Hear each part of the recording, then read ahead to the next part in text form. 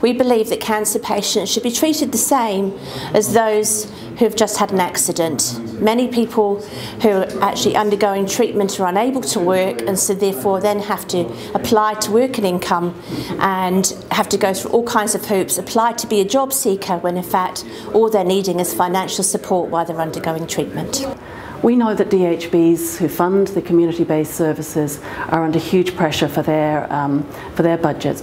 What we also see is that um, they have to effectively rob Peter to pay Paul. The trauma that comes to our hospital uh, in South Auckland overwhelms the need for um, our, our, ability to deal with the elective surgery at many times.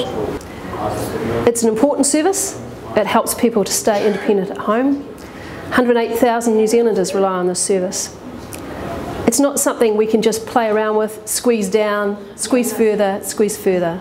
This isn't a sustainable service anymore and service quality is also dropping. There's an old saying that uh, an ounce of prevention is worth a pound of cure.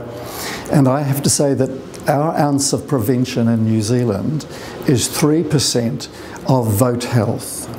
So we get what we pay for whether it's non-communicable diseases or infectious diseases, the failure to invest in, in children and in health is going to leave us with a huge bill for caring for people later in life.